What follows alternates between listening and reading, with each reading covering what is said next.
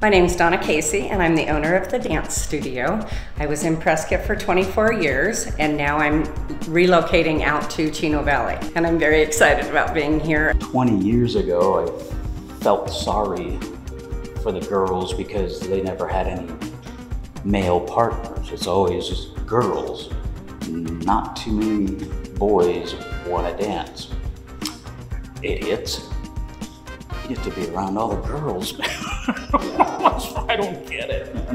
Um, but I said, I'll learn how to tap. Eh, but I was worried that, like, I'm really, like, really bad at dancing. And she said uh, she's never been able to not teach somebody basic tap. Half an hour into the class, she's like, get out.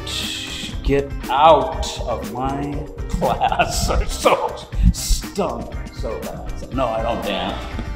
Uh, do the books, pay the bills, uh, payroll, um, come in and clean the mirrors and the, the floors, and that's about it. I was a lot more involved when my daughter was taking dance. The studio is open to anybody in Prescott, Prescott Valley, and Chino Valley. It's not just for people that live out in Chino Valley because we're on the south end of Chino, so it's really accessible to everybody.